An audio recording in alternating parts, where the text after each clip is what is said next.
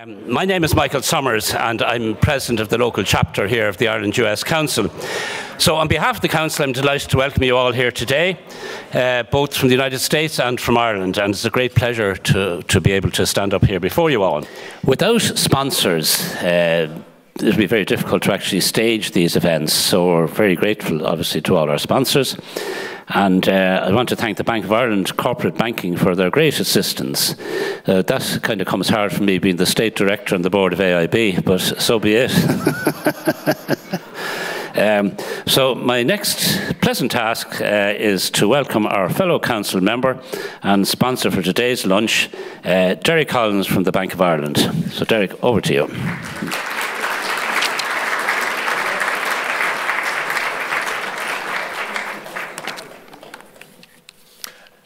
Thank you, Michael. Um, as I said, it's, a, it's always a, a pleasure uh, to be here and, um, as I said, to enjoy the, um, the friendly uh, environment that we have here at the Ireland US Council lunch.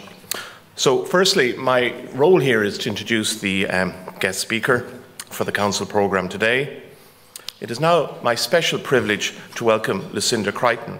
She is Chief Executive of Vulcan Consulting which she founded to offer specialist advice to growing businesses and multinationals, companies on complex domestic and regulatory affairs, in particular in relation to the EU.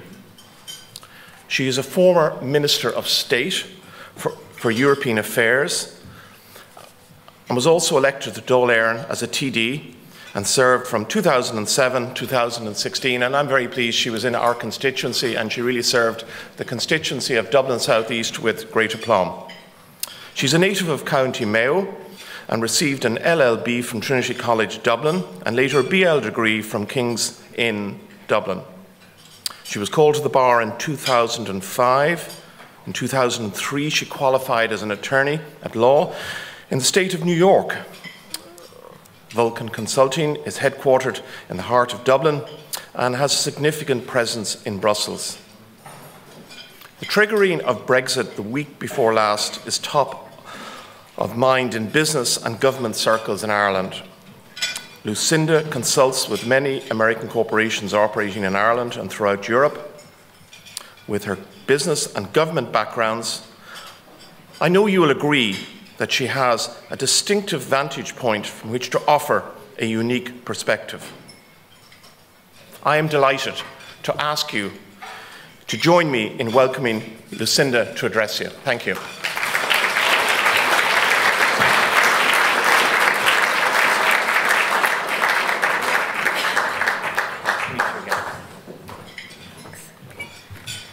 Thank you very much. Um, that was quite a, a, nice introduction. I very much appreciate it. And um, I want to firstly, I suppose, begin by thanking uh, David and Roddy, and of course, the esteemed chairman, Michael, uh, for the invitation to be with you today. Um, it's not my first time, I think it's fair to say, at an Ireland US Council uh, event. I've been at quite a few down through the years.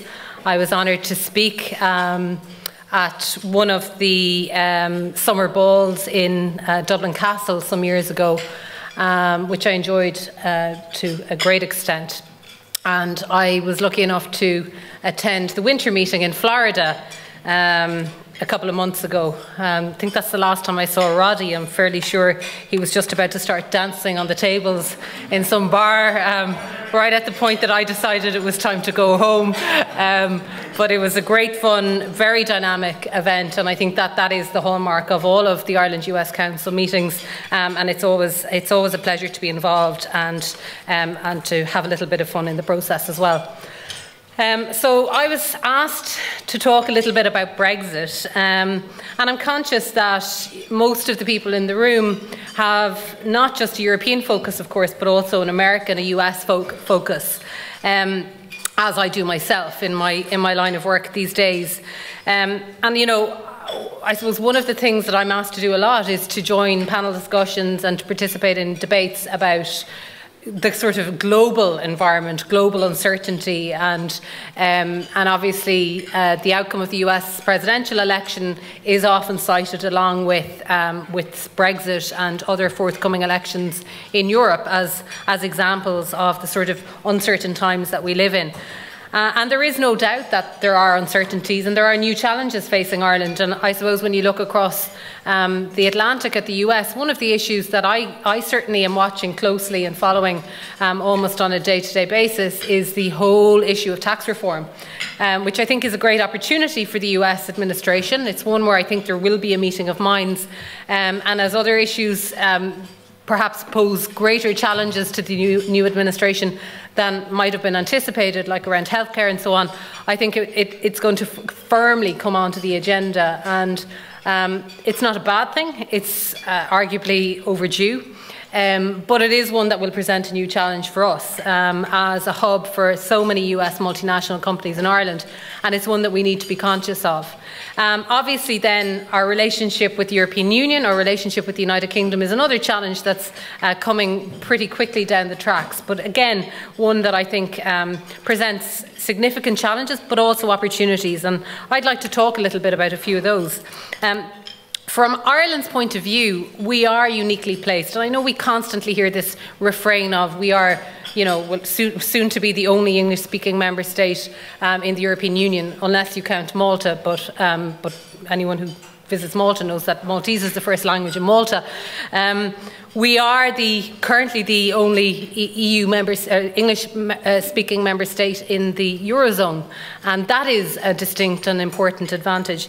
But also culturally, um, particularly when American firms, but also you know, potentially Canadian, Australian, other English speaking uh, economic powerhouses around the world look at the European Union, they certainly see Ireland as a place that's easy to do business, similar legal systems, uh, quite a lot of transparency, um, and culturally we are uh, very, very similar. And that is a huge strength. It's one that I think we risk downplaying, and I think it's one that we really now need to amplify across the globe, and particularly to our partners in the US, both those that, that currently have a presence here, but also those who might consider it um, in the future in light of Brexit.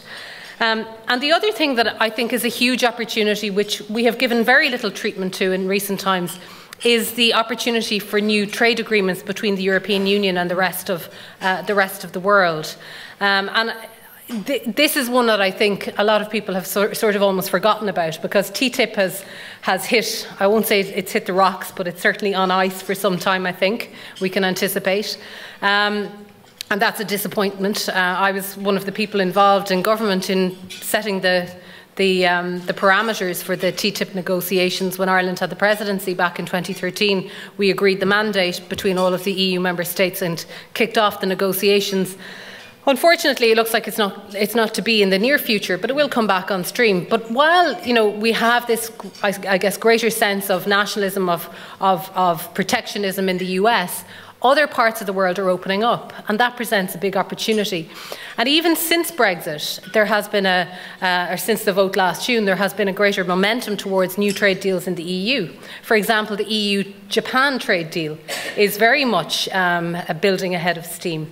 Uh, the EU India trade deal, which was effectively blocked because of differences between the UK and India over the last number of years, is now back on track with new political momentum. Um, and we have also seen it, it, just this week um, a, re a reaffirmation of commitment from the Australian side to an EU Australia uh, trade deal. So these present new opportunities, new markets, and so on. And I'm just giving, I suppose I'm, I'm setting them out as an example because everybody seems to be so negative, and I probably include myself in that, about the, um, about the trade ramifications for Irish industry um, uh, surrounding Brexit, or at least the potential negatives.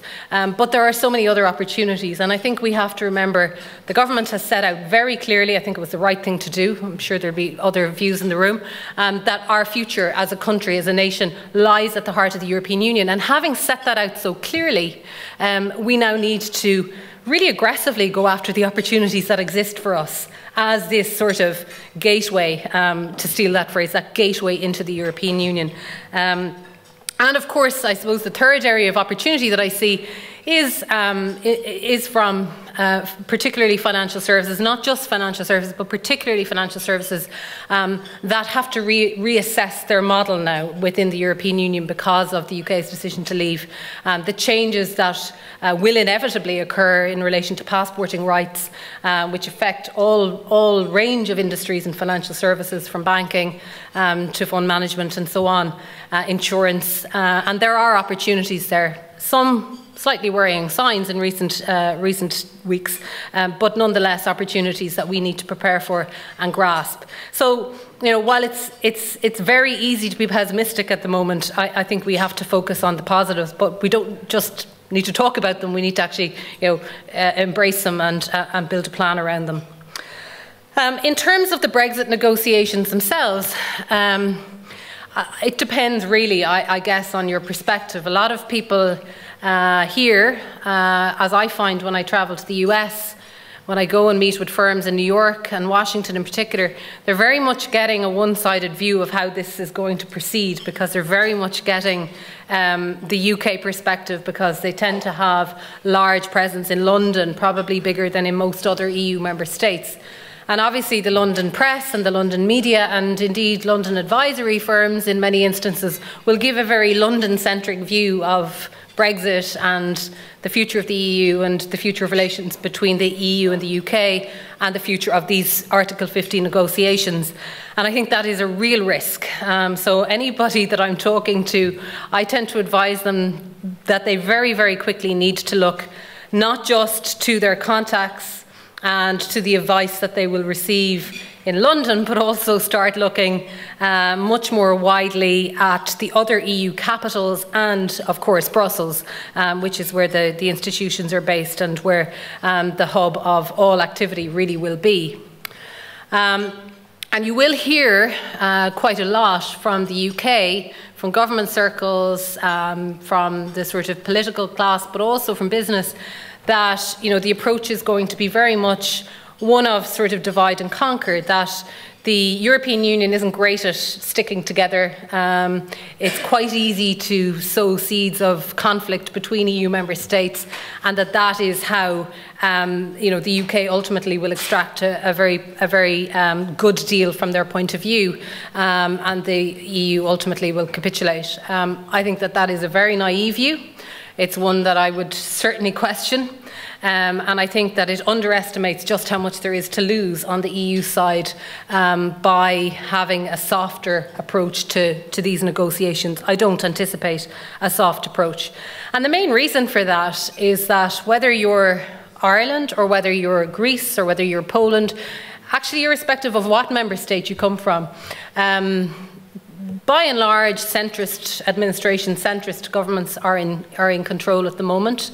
Um, and they face a threat. They generally face a threat either from the radical left, who are typically anti authority, anti institution, and therefore anti European Union, um, uh, but equally from sort of populist, hard right, nationalist movements, which are also. Um, anti authority, anti EU, anti the institutions, and, uh, and so on.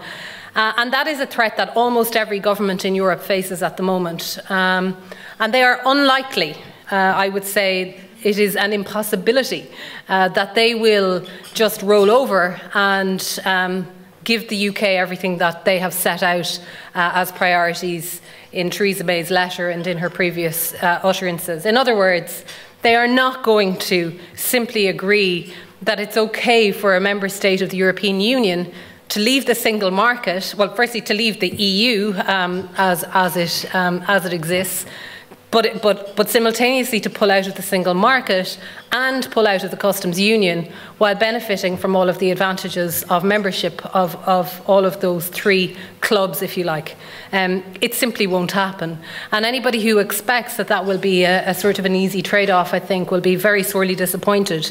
Um, and if we want a sort of a, a really clear example of this, um, one that is um, writ large, as they say, uh, it's probably the French elections that are coming up.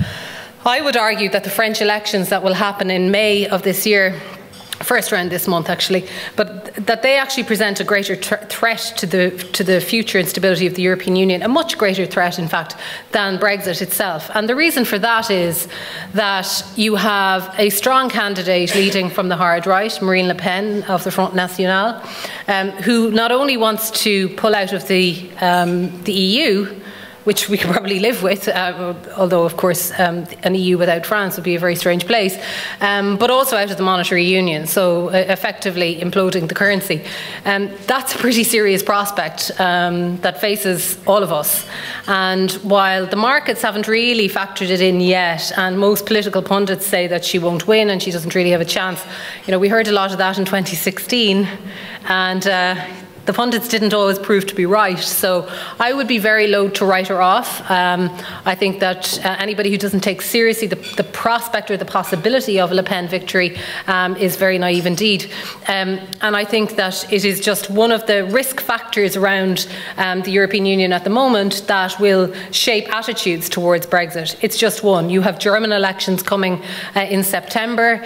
Um, Chancellor Merkel, who has been the sort of linchpin of the of the European political scene for, for, um, for almost 15 years now, um, is also fighting for her political survival. The threat isn't coming from a radical Eurosceptic party, but it is coming um, actually from a more pro European, more pro federal candidate who will arguably give the UK a tougher time in negotiations than Chancellor Merkel, who has actually been quite reasonably pragmatic throughout this whole process.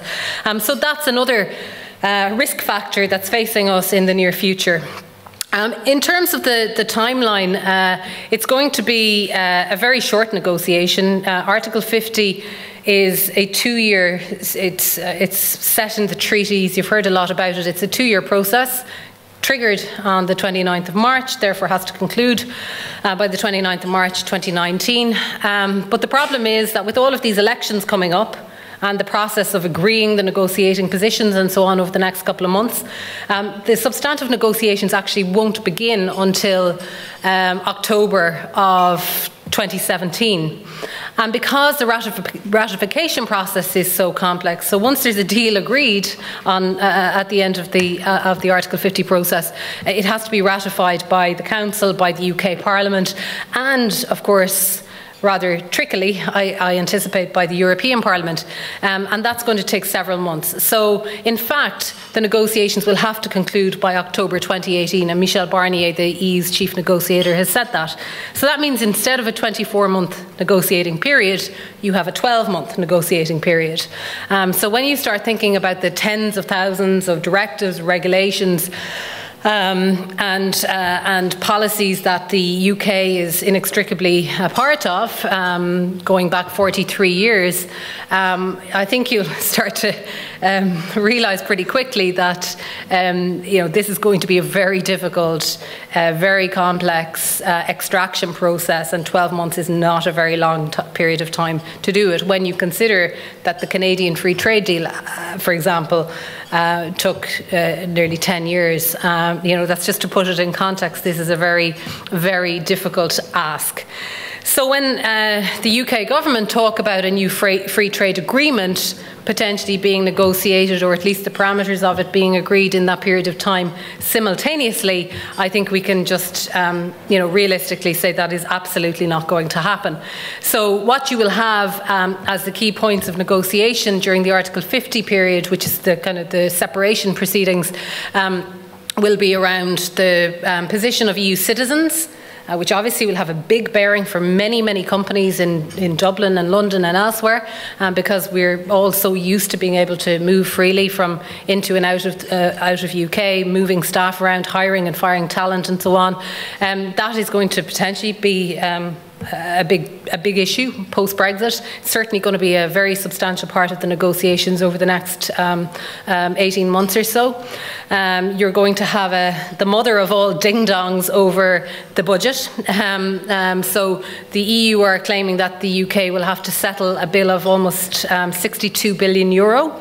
that's to settle existing funding programs that they're part of, uh, pension liabilities. Uh, a lot of this funding could go on for many many years to come. Polit politically a hugely sensitive issue in the UK, as is the issue of EU immigrants, one of the main reasons people voted to leave the EU. Um, and all of this will have to be worked out over the months ahead. Um, in parallel to that, there will have to be a very substantial discussion hopefully a negotiation about a transition deal. And I think you know this is probably the issue that is of most interest currently to most people because um, a transition deal would probably allow for the continuation of um, of tariff-free trade, maybe. It may allow for the continuation of passporting rights, for example, maybe. But all of this will have to be figured out over the course of the, the, the period from now until um, until October uh, 2018, and um, and that will be difficult. It's going to be very difficult because those who campaigned for a British exit from the EU promised that they would take control of their borders, that EU citizens would not be able to um, to travel freely into the into the UK to work and to claim benefits and so on. The EU has a very different view of that. Um, uh, you know, there are um, commitments that were made during the campaign around um, not another red cent being paid into the EU budget. Yet um, politicians in the UK will have to explain well, if we want to have this transition deal, we're absolutely going to have to settle this bill, um, and and so on and so forth. It's it's very complex. It's going to be very politically um, politically. Uh, challenging um, for British politicians to explain. Uh, and of course, the other, um, the other contentious issue um, is that the UK has, has said categorically they want to leave the jurisdiction of the ECJ. But you can't continue to, to trade and carry on with a transition deal. Um, which essentially allows the continuation of the EU relationship with the UK uh, without being under the um, jurisdiction of the ECJ. So, all of these are really, really, really tricky um, and massively politically sensitive issues. So, you know, when people say, well, of course, and I, you know, I've, I've heard this from very significant companies and business leaders, you know, of course there has to be a transition deal. Of course there's going to be a deal. And, you know, we have four, four or five or possibly six years um, before a free trade agreement is, is negotiated. So this interim period will be managed, um, you know, very carefully and responsibly. Um, don't underestimate how politics can trump, trump economic logic. Um, I have a lot of experience of it. Um, and unfortunately, you know, economic logic does not always prevail. And these are, you know, these are really fundamental um, uh, political challenges that face Prime Minister Theresa May and face um, her colleagues in the Cabinet. Um, and with the absence of any real meaningful opposition in the UK, uh, coming from a more moderate point of view, um, I think we can expect it to be very, very tricky and very, very difficult. So we have a very bumpy road ahead. Um, I suppose one of the things that I think is also just worth mentioning or noting is, um, you know, when we talk or when we listen to our, our friends across the water talking about the new opportunities to assert themselves globally and all of the wonderful new free trade agreements that are going to uh, be pursued by the UK, um, you know, the, the, the, figures tell a kind of a different story. Um, the UK exports um, more to the rest of the EU um, than any other part of the world. Um, the UK is heavily reliant on the EU market. Almost, almost 50% um, of its goods and services are exported to the rest of the EU, whereas um, UK exports to um, to Australia, for example, um, amount to just over one percent. Um, and in, in services, it's, it's substantially less than that. UK exports to India um, uh, amount to, uh, again, about 1.2%. Um, so these are tiny, minuscule markets for the UK. Um, all of these jurisdictions have expressed a clear intent to engage and negotiate with, um, with the European Union as a priority, uh, as a much bigger market, obviously, of 450 million people as opposed to 60 million. Um, and, uh, and I just think that you know this is a certain um, re re realism that has yet to enter the debate in the UK.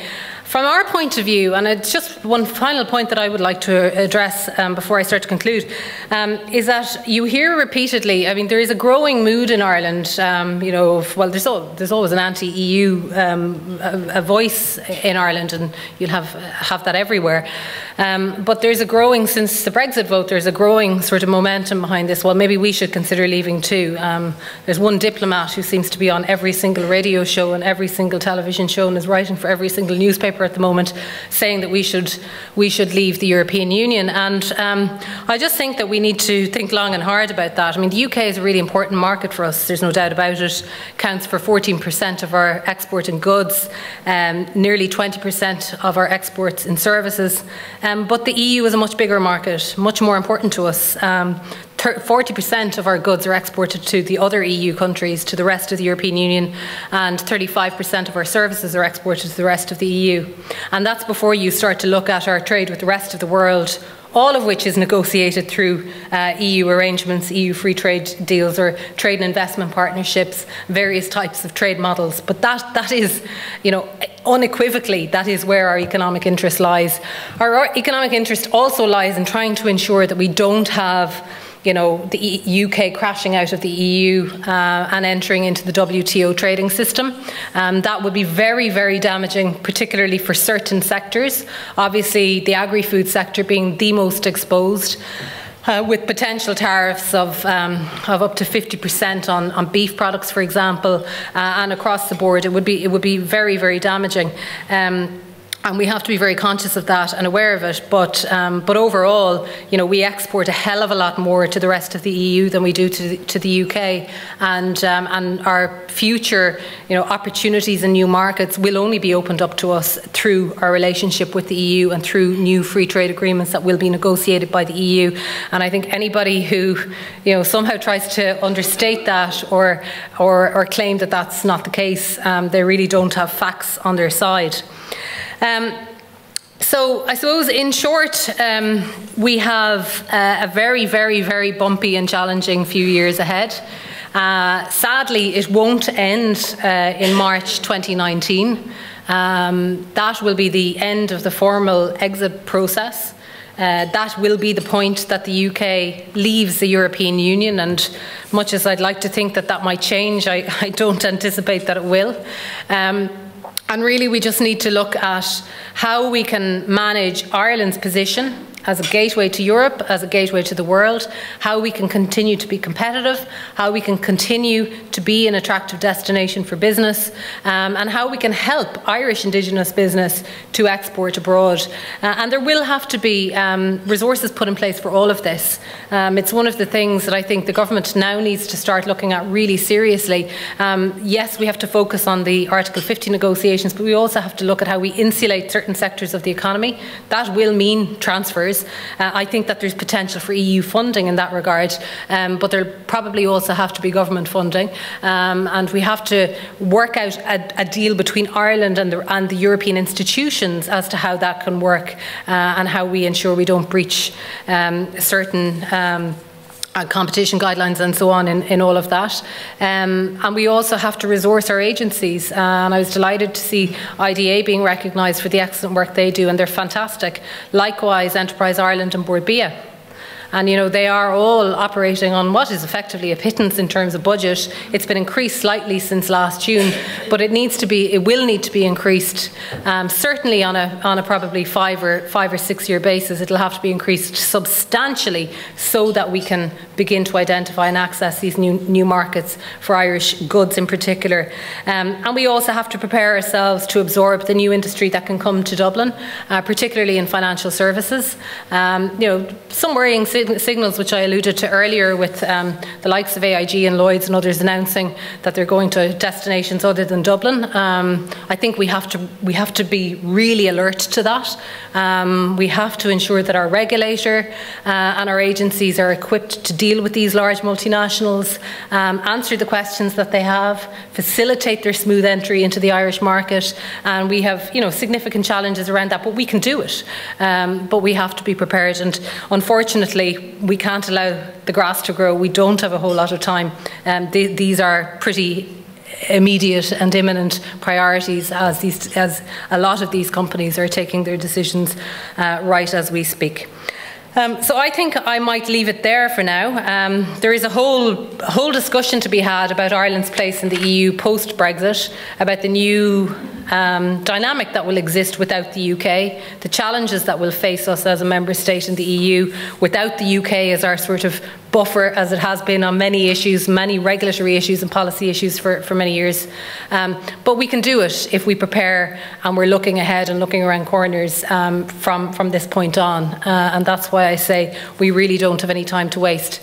Um, but I want to thank you for allowing me to share my, some of my thoughts with you. Obviously, it's a very broad, wide ranging uh, topic that I could talk about all day, but I've tried to hit some of the key points, and I'm happy to either answer any questions or talk to any of you directly after the lunch. And uh, thank you once again for, for your attention and for having me here today. Thank you.